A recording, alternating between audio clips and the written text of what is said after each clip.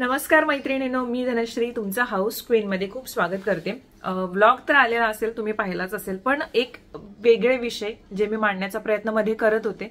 आणि आताही ते चालूच राहतील. म्हटलं आपण छोटे छोटे असे विषय हात करू जेव्हा इंटिग्रेशन करते त्या विषयांचं तेव्हा काही जणी म्हणजे स्किप करतात किंवा बघत नाहीत. पण माझं मूळ मूळ हेतू असा असतो की हे विषय सगळ्यांच्यापर्यंत पोहोचावेत. स्त्रीचं आरोग्य चांगलं राहावं निरोगी राहावं.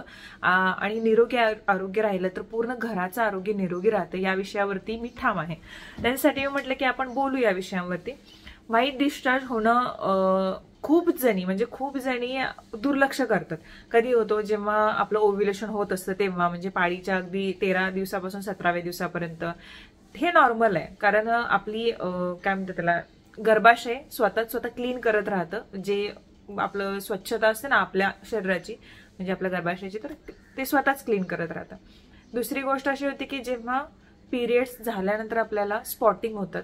म्हणजे छोटे छोटे नॉर्मल हेवी फ्लो नाही पण थोडं थोडंसं आपल्याला स्पॉटिंग होत राहतं. पिरियड्सच्या आधी सुद्धा होतं व्हाईट डिस्चार्ज होणं किंवा ह्या. पण तो जर अति प्रमाणात होत असेल तर मग काळजी घेण्याची गरज आहे.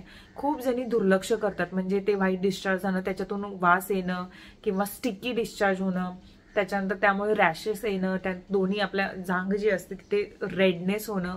खूप जणी सांगत नाहीत त्याविषयी डॉक्टरांशी पण बोलत नाहीत ना आपल्या नवऱ्याशी बोलतात ना घरात कुणाशी सांगतात. आणि यामुळे जास्त इश्यू होऊ शकतात आपल्याला जास्त त्रास होऊ शकतो गर्भाशयाचे कॅन्सर किंवा अजून इश्यू होऊ शकतात. मी ह्याविषयी माझी डॉक्टर मैत्रिणी तिच्याशी बोलले म्हटलं ह्यावरती आपण कोणत्या कोणत्या गोष्टी आपण सांगू शकतो ग? जेणेकरून खूप साऱ्या लेडीजना याबाबत मदत होईल. तर तिने काही मला पॉईंट्स पाठवले जे मी तुम तुमच्याशी शेअर करेन. ती म्हणायला लागली मी तुम्हाला वाचूनच दाखवते कारण स्वतः जर सांगितलं तर ती गोष्ट मे बी पटणार नाही.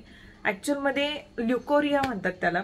त्यामुळे आपण कसं ल्युकोरियामध्ये कारणं कशी होतात बघा नाजूक भागांची व्यवस्थित स्वच्छता न करणं रक्ताची कमतरता चुकीच्या पद्धतीने शारीरिक संबंध ठेवणे जास्त उपवास करणं तिखट मसालेदार पदार्थांचे अतिसेवन करणं त्यानंतर आपल्या योनीमध्ये बॅक्टेरिया असणं सतत गर्भपात होणं चांगल्या बॅक्टेरियांची कमतरता शरीरातील पीएच लेवलमध्ये बिघाड रोगप्रतिकारक शक्ती कमजोर असणं योनीमध्ये फंगल इन्फेक्शन आणि वजानल हेल्थबाबत निष्काळजीपणा.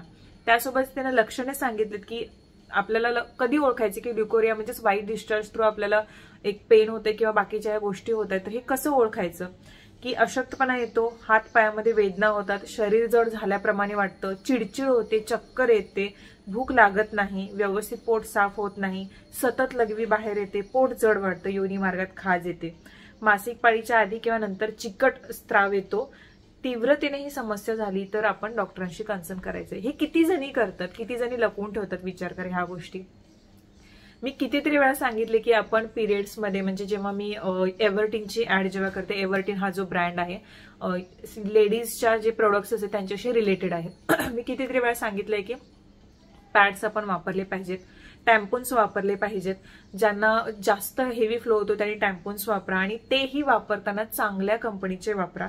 कधी कधी काय होते चांगल्या कंपनीचे काहींना सूट होतं काहींना आधीपासून कपडा वापरायची सवय असते त्यामुळे कपडा सूट होतो. पण कपडा सुद्धा वापरताना तुम्ही तो चांगला म्हणजे डेटॉलमध्ये स्वच्छ करून किंवा चांगला क्लीन करून तुम्ही वापरला पाहिजे. चांगला सुकवला गेला पाहिजे मेन म्हणजे.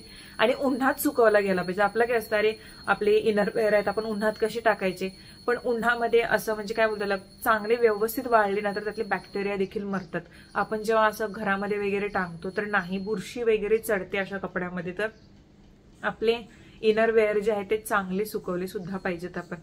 जेव्हा पॅन्टीचा वापर करतो आपण ती सुद्धा मी नेहमी बोलते की आपण कॉटन पॅन्टीज वापरल्या पाहिजेत. स्टाईल त्या भागासाठी न करता कॉटन पॅन्टीज वापरा. आपला वजानल एरिया ब्रिदेबल राहायला पाहिजेत. यामध्ये जेव्हा वाईट डिस्चार्जचा जर हेवी प्रॉब्लेम जर होत असेल जास्त प्रॉब्लेम असेल डॉक्टरांशी कन्सर्न करणं गरजेचंच आहे. पण थोडं थोडं प्रॉब्लेम झाल्यानंतर आपण काय करू शकतो? या गोष्टीसाठी काय वापरू शकतो? म्हटलं व्हाईट डिस्चार्ज नॉर्मल आहे कारण आपलं गर्भाशय क्लीन करत असतं स्वतःच आणि हार्मफुल बॅक्टेरिया किंवा काही नको असले गोष्टी त्या वाईट डिस्चार्ज मधून बाहेर पडतात. पण ते हेवी होत असेल तर काळजी घेण्याचं कारण आहे. आणि तुम्हाला जर नॉर्मल व्हाईट डिस्चार्ज होत असेल तर जसं मी म्हटलं की आपण पॅन्टी लायनर्स वापरू शकतो.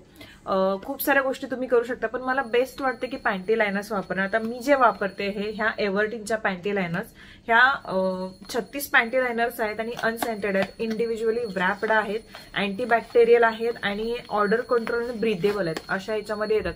आता आपण जेव्हा पॅड पॅड्स वगैरे वापरतो तर ते थोडेसे जाड असतात आणि आपल्याला कळते की अरे आपण पॅड वापरले पण कंटिन्युअसली आपण वापरू शकत नाही. जर आपल्याला वाईट डिस्चार्ज होत असेल थोडं थोडंसं काही ना लघवी वगैरे बाहेर येते किंवा असं होतं तर कंटिन्युअसली आपण एवढे मोठे पॅड वापरू शकत नाही. आणि नंतर तुम्ही जर ऑब्झर्व केला असाल चार दिवस आपण पॅड वापरल्यानंतर पाचव्या सहाव्या दिवशी वापरताना आपल्याला ना थोडासा त्रास होतो. तर त्याच्यासाठी ह्या पॅन्टी लायनर्स अशा असतात. एकदम थिन असतात आणि आपल्या पॅन्टीच्या अगदी परफेक्ट त्याला बसतात मापाला आणि असे इथून चिकट जसं आपण नेहमी पॅड वापरतो तसं. आणि जो छोटा स्त्राव असतो जसं स्पॉटिंग होत असेल किंवा व्हाईट डिस्चार्ज नॉर्मल असतो आपल्याला तो ओव्हिलेशनच्या वेळी वगैरे तर ते व्यवस्थित कॅरी करतात आणि आपल्याला त्रास सुद्धा होत नाही. कारण जर पॅन्टी ओल्या होत राहिल्या तर त्यांना रॅशेस येऊ शकतात आपल्याला पुढे अजून त्रास होऊ होऊ शकतो आणि ओढर सुद्धा येतो. चिकट जो पदार्थ निघतो व्हाईट डिस्चार्ज जो होतो आपल्याला त्याच्यातून जर वास येत असेल डॉक्टरांशी कन्सर्न करा. स्टिकी जास्त असेल किंवा असा येलोइश जास्त होत असेल तर डॉक्टरांशी संपर्क साधा. नॉर्मल व्हाईटिश क्रीमी होत असेल तर त्याला काही टेन्शन नाही. ते आपलं नॉर्मल आहे म्हणायचं. आणि अशा वेळी ह्या ज्या पॅन्टी लायनर्स जर तुम्हालाही घ्यायचे असेल तर ह्याचे डिटेल्स जे आहेत ते डिस्क्रिप्शन बॉक्समध्ये देईन. यूज करणं का गरजेचं आहे? कारण सध्या आपण लेडीजना खूप साऱ्या गोष्टी जसं फॅशन स्वीकारतो खूप साऱ्या गोष्टी आपण आपल्या लाईफसाठी बनवत आहोत. तर अशा याच्यामध्ये अशी क्लिनिंग एक क्लिनिंग हायजीन जी आपली असते ना, ती सुद्धा मेंटेन करणं गरजेचं आहे. ह्या डेली पॅन्टी लायनर्स ज्या आहेत त्या तुम्ही यूज करू शकता. ऍक्च्युली ह्या खूप उपयोगाच्या वाटतात. मला जेव्हा समजलं ना मी ऍक्च्युअलमध्ये ह्या फार हेल्पफुल ठरल्या मला. मी म्हटलं की ठीक आहे आपण काही प्रॉब्लेम्स पण सांगून त्यासोबतच त्याचं सोल्युशन देखील सांगू. यांचे पॅटसुद्धा मी दाखवलेले आहेत. ते सुद्धा मला चांगले वाटले आहेत. म्हणजे हेवी फ्लो आपण हे करू शकतो. त्याच्यानंतर हे म्हणजे ह्या ब्रँडची मी आता सध्या वापरते. आणि पॅन्टी तरी दुसऱ्या ब्रँडच्या मी वापरतच नाही. हा मला बेस्ट ठरलात म्हणून. कारण ॲक्च्युअलमध्ये ब्रिदेबल आहेत. असं कॉटनी आहेत. सरफेस असं प्लास्टिक नाही आहे त्याचा आणि आपल्याला त्रास होतो. आणि अजून एक गोष्ट सांगायची राहिली तर जेव्हा आपल्याला मासिक पाळी येते त्याच्यामध्ये खूप साऱ्या गोष्टी आपण लेडीज लेट गो करतो. की म्हणतो अरे ठीक आहे ही कामं करूया ती कामं करूया आता खूप साऱ्या संकल्पना चेंज झाल्यात. म्हणजे एका जागी एक दुसरी खोली द्यायची अगोदर किंवा कुठल्या कामांना हात नाही लावू द्यायची. कारण त्याचं असं होतं की आपण आराम करावा. कारण त्यामध्ये आपलं शरीर थोडंसं अशक्त होतं.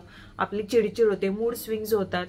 कधी कधी काहीतरी खावंसं वाटतं कधी कधी वाटत नाही. काही जणींना ओटी पोटी प्रचंड त्रास होतो. मी स्वतः बघितलं माझ्या काही अशा मैत्रिणी जे दिवसभर झोपूनच असतात. आणि एकेकींना काहीही होत नाही ज्या माझ्यासारख्या असतात. त्यावेळी आपण जास्त आपली काळजी घेणं गरजेचं आहे. ते निदान तीन मला तरी वाटतं की सरकारने जे पिरियड्स आपल्याला येतात तीन दिवस ते तीन दिवस तरी सरकारने सुट्टी द्यावी. माहीत नाही हे किती व्हॅलिड आहे किंवा नाही माझं हे बोलणं. पण असं वाटतं की प्रत्येक स्त्रीला तिथे तीन दिवस जे आहेत महिन्याचे ते थोडेसे असे राखीव द्यावेत की त्यांना घ्यावी किंवा न घ्यावी सुट्टी हे तिच्यावरती अवलंबून असावं. कारण खूप अवघड आहे हे सगळं कॅरी करणं ह्या त्या दिवसामध्ये. आणि मूड स्विंग्स तर आपल्या अशा असतात की त्याचा जर पार्टनर आपला समजून घेणारा असेल तर ते ओकेच आहे. नाहीतर मग ते चिडचिड घरातली कामं ऑफिसचं टेन्शन मुलांचं टेन्शन बाकीच्या गोष्टी बॅकअप सगळ्या ह्या गोष्टींचा परिणाम होतो. त्यामुळे स्वतःच्या आरोग्याची नीट काळजी घ्या.